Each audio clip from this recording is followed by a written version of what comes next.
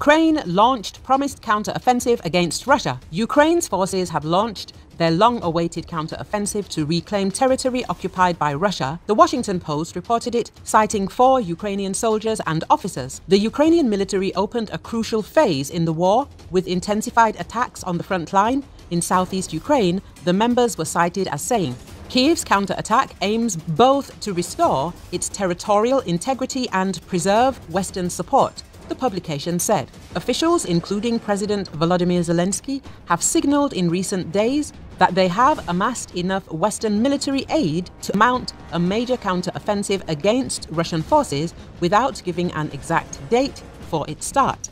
Before this, Zelensky declared that his country's military was ready to launch a counter-offensive against Russian forces.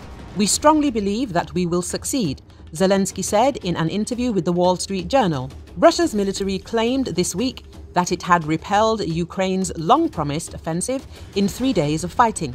Kiev has not responded to the claim. Following the full scale invasion of its neighbor last year, the Kremlin claimed to have annexed eastern and southern Ukraine's Donetsk, Luhansk, Zaporizhia, and Kherson regions in a move that was widely condemned by the international community.